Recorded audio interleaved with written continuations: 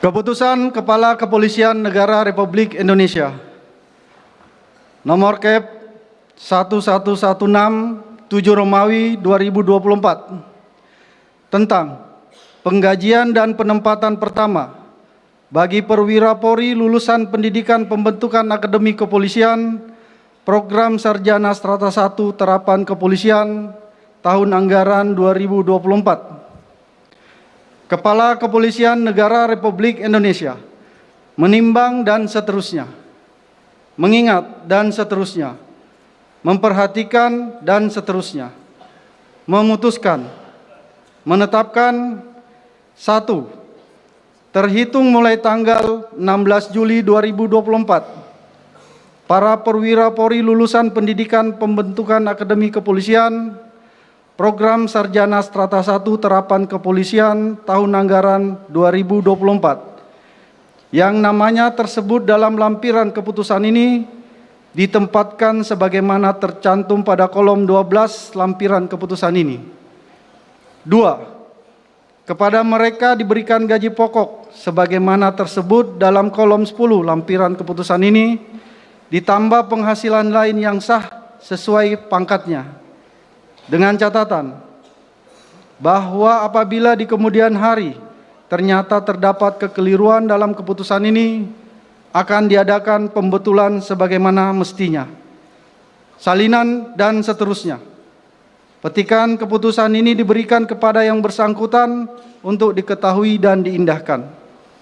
Ditetapkan di Jakarta pada tanggal 15 Juli 2024 atas nama Kepala Kepolisian Negara Republik Indonesia, Asisten SDM, cap dan tanda tangan Profesor Dr. Dedi Prasetyo M. Hum, MSc MM, Inspektur Jenderal Polisi.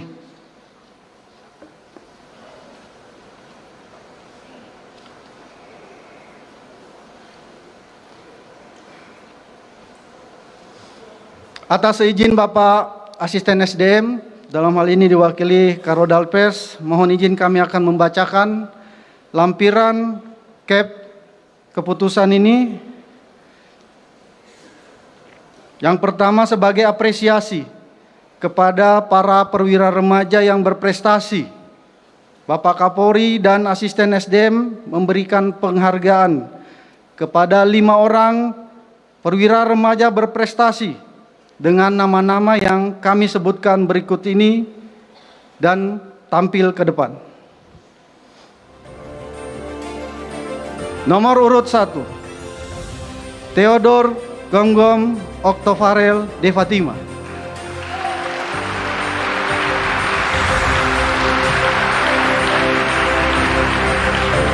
Nomor urut 2. Dava Safa Pradana.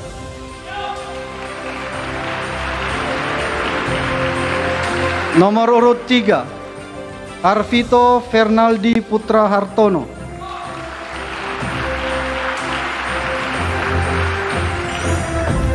Nomor urut 4 Faras Adiaksa Wiraguna Kuspriyadi.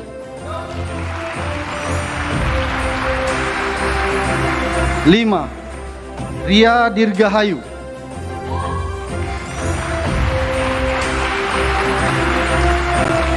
Dengan keterangan Theodor Gonggom Oktovarel de Fatima, prestasi penghargaan Adi Makayasa, prestasi terbaik nilai kumulatif seluruh aspek. Prestasi penghargaan Adi Tanggon, prestasi terbaik satu kumulatif aspek karakter. Prestasi penghargaan Adi Trengginas, prestasi terbaik aspek jasmani dan kesehatan ditempatkan sesuai dengan pilihan pada Korp Primopori.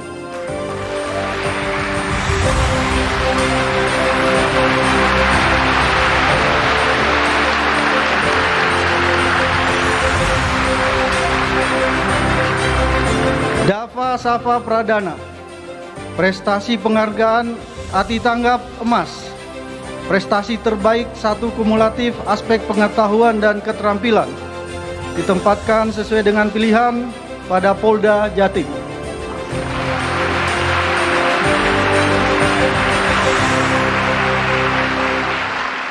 Arvito Fernaldi Putra Hartono prestasi penghargaan Wirakarya Nugraha Mas, prestasi terbaik satu penulisan tugas akhir.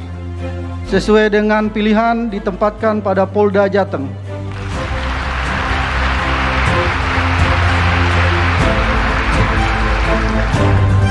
Faras Adyaksa Wiraguna Kuspriyadi, prestasi penghargaan Wiracendikia, penghargaan indeks prestasi kumulatif, IPK di atas 3,50.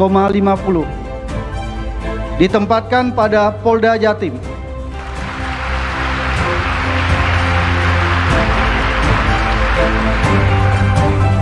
Ria Dirgahayu Prestasi Penghargaan Sri Kandi, Cendekia, Penghargaan diberikan khusus untuk taruni dengan lulusan terbaik sesuai dengan keinginan ditempatkan pada Polda Jatim.